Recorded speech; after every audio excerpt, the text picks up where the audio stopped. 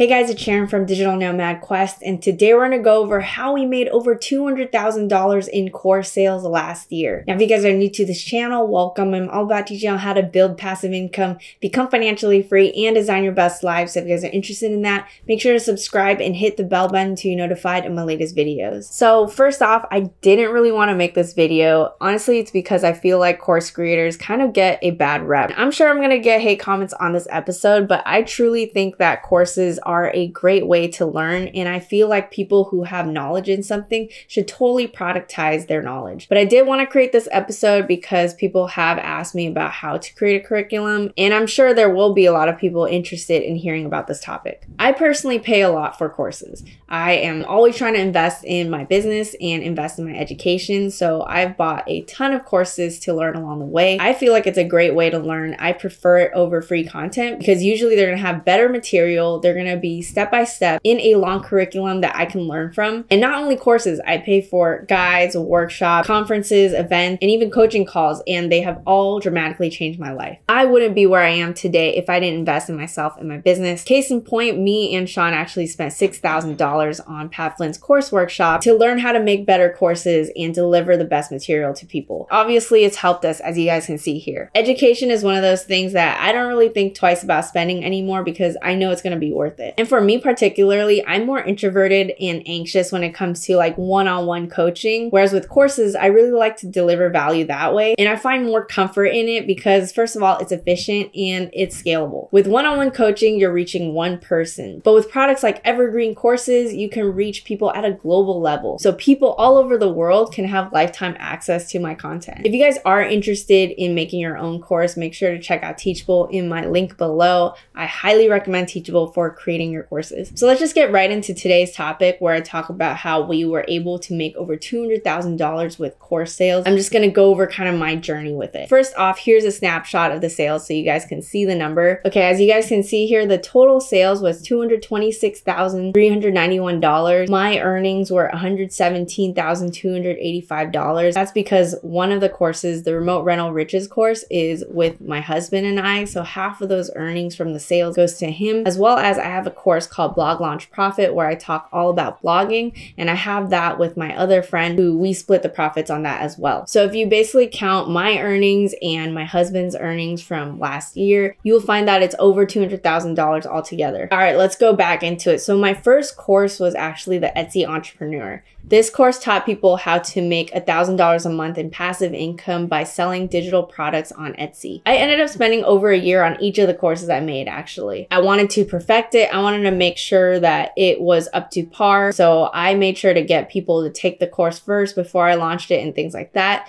so that I could see what they actually thought about the course. I also tried to look at other courses and see how I could improve mine as well. So all of that takes a lot of time. The filming, the editing, the outlining, all of that stuff. It takes a long time. I'm sure I could have done it in a quicker amount of time, but I kind of took my time with it. And I'm actually happy that I spent that long of time on each of my products because I made sure they are good for my audience. But when I launched the Etsy Entrepreneur, I didn't exactly really launch it. What really happened was you know, at the time, I only really had a blog. I didn't have much of an Instagram presence, YouTube presence. I didn't even start my YouTube channel at the time yet. I didn't have a TikTok account. So my follower base was mainly through my blog, my email list, and things like that. But I felt like such a small fry, and I was like, why would anyone listen to me? So I didn't tell anyone that I made the course. I spent a year on it, and I didn't even announce, you know, creating this course, which is kind of funny looking back. I really just felt like who would even want to learn from me? So again, I didn't tell anyone I launched it. I put it on my website and I just heard crickets. Obviously, no one's gonna say anything about it because they don't even know that it exists there yet. But honestly, I didn't really care. I was proud of creating a course and putting it out there. And I made something that I could refer people to in case they wanted more step by step instruction on Etsy. I feel like my overall goal with all this content stuff is that I want to make a huge repository of content on YouTube, huge repository of courses that people might want that really helps people get from A to B. And that's kind of my plan. So I was just excited to have that out there. So that's one thing, first of all, make sure you're creating a course that you want to create and that you're proud of. Secondly, don't make the mistake that I made, right? You want to make sure you announce the course. You want to let people get excited about it and tell people about it. Even though I didn't have a hard launch, I later kind of did some guest podcasting and started getting interviewed about Etsy and things like that. So I started putting myself out there, getting interviewed about how I was able to make passive income streams. At the end of the interviews, I would usually plug my course and let people know about it in case they wanted to sign up with it. That honestly helps with getting more backlinks to your course.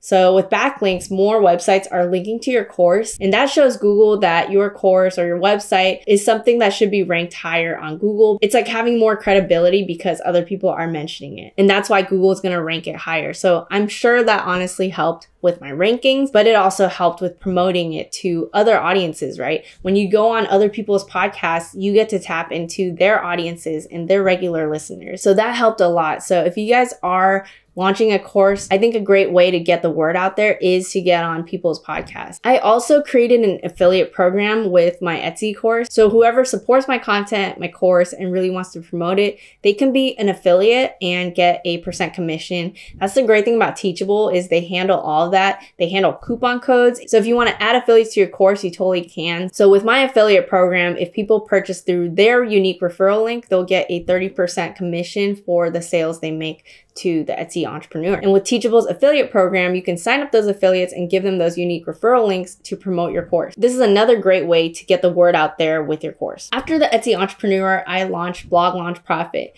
I worked on this with my friend, spent over a year on it. He's actually a digital nomad, so he actually came over for two weeks and we just spent a long time kind of cranking out the curriculum, started recording the episodes, but it still took over a year because we were talking marketing strategies. We were always talking about how we can improve it on this part and this part and taking notes. So it ended up taking a long time. But again, it doesn't matter to me because I like having that material on my website. I like that I've created something I'm proud of. And because we spent so long on it, we can be sure that it's a quality product. Now with Blog Launch Profit, this time we did blast it to our audience. We sent emails out about it. I talked about it on my Facebook group as well as my Instagram. But here was the problem. It was not a topic that a lot of my audience was interested in. And the reason is that I didn't talk about blogging that much in my free materials. If I never talk about blogging and then I suddenly put up a blogging course, why would my audience think I knew what I was talking about with blogging, for example? Because of this, I honestly should have spent more time serving my audience about what they wanted to learn. To me, it doesn't matter because I'm still happy I put that out there. But I think a lot of people get hung up on like, oh, this course failed. It's not getting that many sales. I spent way too much time on this and it didn't even make money. For me, it doesn't really matter because I'm like, great, I have this awesome curriculum that I spent a long time making and I can redirect people to it if they ever want to learn more about blogging. But anyway, around that, I guess my tips are first of all, don't get hung up on failing.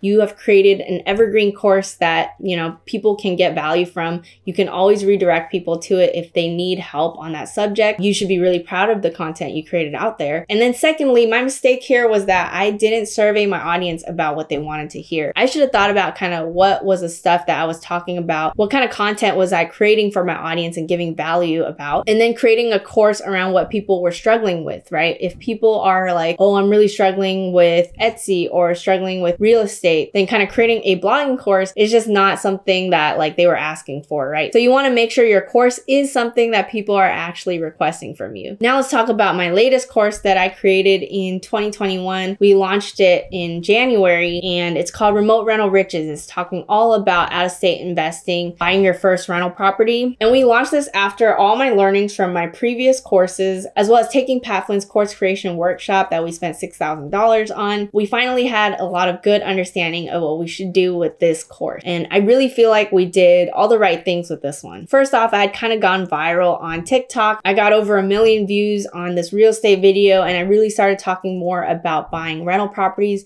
buying properties out of state. And I got so many questions about real estate, about how to buy your first out of state rental property That's when we knew that this was something that was in demand. Sean and I had actually outlined the material already at Pat Flynn's course creation workshop. So we had this outline, we started building the curriculum. Knowing that my audience was really asking for it, it was really exciting that we were putting something out there that people were actually wanting to hear about. When we launched it, we made over $60,000 within two weeks. We ran a discount that was going to be the biggest discount we ever would put out, and we ran it for those first two weeks. We promoted it with Instagram with emails. On the last day of our course launch, we even did many lives. I remember when we were doing the lives, we were just getting sale after sale after sale. We were talking about real estate investing and people who asked in the comments, like, how do I get more information? We just plug the course whenever people ask for it. So it actually worked really well that way. When you're launching a course, I would say testimonials are very valuable. So before we launched it, we actually gave the course for free to a couple beta testers and asked for their honest reviews. And those honest reviews are on the course sales page. I would also say that putting a time limit around the discount is important. So when the last few days are coming up or the last few hours are coming up with your sale,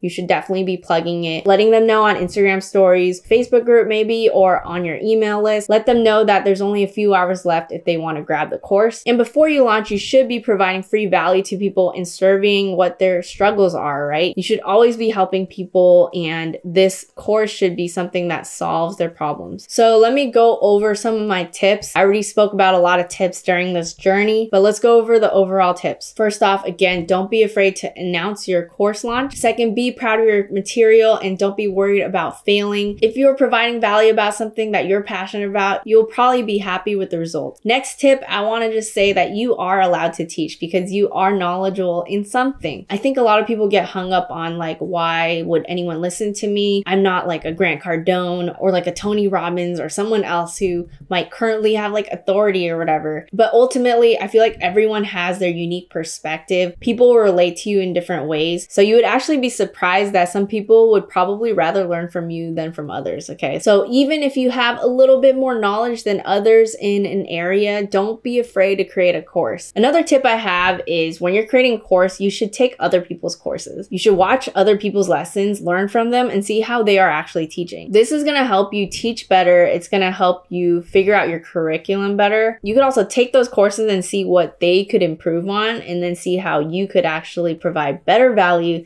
than those people. Now, when it comes to marketing, I'm sure you guys want all the tips around this part, right? Like I mentioned, testimonials are very powerful. The reason testimonials are powerful is if I create a course and I tell you it's the best course ever, it's not going to really mean anything. But then if someone else says my course is the best course ever, that's going to mean so much more. That testimonial is going to be worth a lot because they actually took the course, they actually really enjoyed it, and they're just a third party that wants to tell other people about how they enjoyed the course. People will trust those testimonials more than my own testimonial about my own course. So get as many testimonials as you can. Get beta testers to do honest reviews of your course, and honestly, doing that will also help you improve the course because maybe there were things that they say that you could have done better on, and it will actually help you revise your course and make it better. I would also say Instagram is a very powerful way to promote your course. I use Instagram stories a lot. I would promote through Instagram reels as well as through video posts. I try not to sell all the time, right? I did promote it during those two weeks a good amount, but I also wanted to provide free value as well. So I did a cadence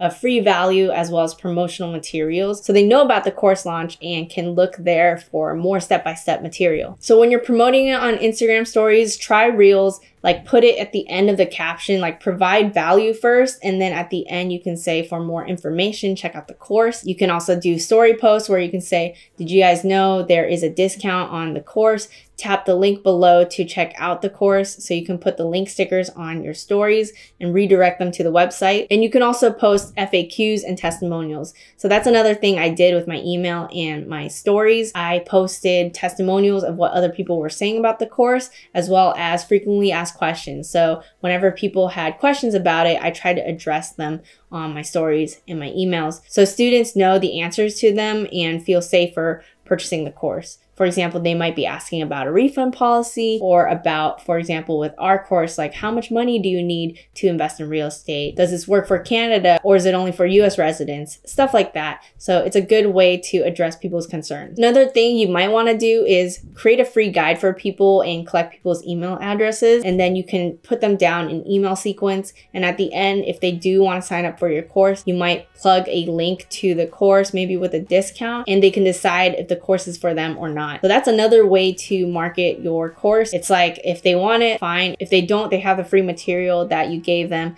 and hopefully that provided value for them already. Affiliate programs are a great way to promote your course. So get affiliates to promote your course. I would say I have more affiliates for my Etsy course. With affiliates, I honestly could be doing a better job with that. I only really gave access to affiliates who requested that access to my program, but I haven't sought out affiliates myself. But this is something you can offer to people who have already taken your course. If they really support it and they want to possibly promote it or tell their friends about it, you can give them access to your affiliate program so they can make some money out of promoting your course. Lastly, podcast interviews and collaborations are really powerful. So I honestly feel like with my Etsy course, the podcast interviews and collaborations in the affiliate program have been really big drivers for sales on that course. So don't underestimate podcast interviews and collaborations because you get to tap into those audiences and let them know about your product. So that about wraps up how we were able to make over $200,000 in course sales last year. I hope you guys got a lot of value around the techniques and strategies around course creation and launching the course. We've learned a lot along the way. I've learned a lot from just like making these courses and putting them out there. As you guys can see, I made many mistakes on the way. I'm also glad I took a course workshop that kind of teaches how to really launch it better. And these learnings that I mentioned in this episode are really things that can help you a lot if you implement it and launch your course this way. If you guys like this episode, let me know in the comments below which tip really helped you. Subscribe, hit the bell button to be notified of my latest videos, and I'll see you guys in the next one.